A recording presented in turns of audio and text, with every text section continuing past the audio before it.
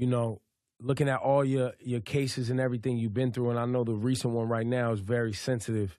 And with respect to you know everybody involved in that case, you know we can't get into details today, um, but you know we take sexual assault here serious, and we can't you know uh, get into details. But we hope you know to have you back so we can have a, a deeper conversation about that because you know this is a serious topic, and we're hearing these stories a lot.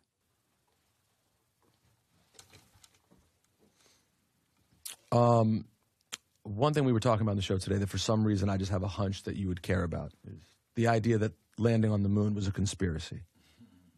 Kodak, do you believe that our moon landing in 1969 actually took place? What the fuck y'all talking about? You seem upset that I brought it up.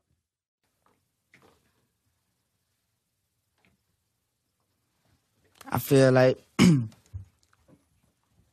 sometimes when niggas like we going through shit, like y'all be entertained by bullshit. You know what I'm talking about? Mm-hmm. So it's like change the subject. I'm finna walk out. We'll change which subject?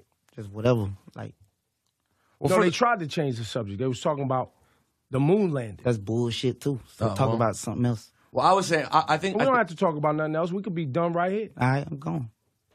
Say less. well, that's a bummer. Uh,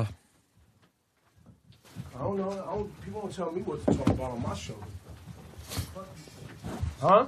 I got I got a song called Mosh Pit with Juice WRLD just for like the streaming people. Like it's not really my favorite, but I know it's gonna it's gonna stream. Like people Mm-hmm. gonna eat that up. Like with Lil Pump. Like that was never something that I I would never like really work with him. But I did it and it's gonna stream. I know Yeah. it's gonna stream. And um overall every everything on there could have been different. Could have been different.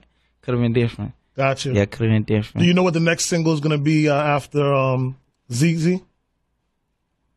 I really just let the streets pick it. Like I went, I don't, I don't even think ZEZE was supposed to be my my single, but it's like they they like it. Man, they doing challenges to that song. That song yeah. is gone. Yeah, Y'all about to take uh, like the- no flocking to tell you the truth. I really don't like that song. Really? I really don't. I was just yeah. I really. I was really just saying anything because you know people was like smoking flock at that time, so it was like I was making fun of like my homeboys who started smoking it. Like my uncle was smoking it, and like, a lot of people was smoking. I was just clowning them, but it went it went viral though.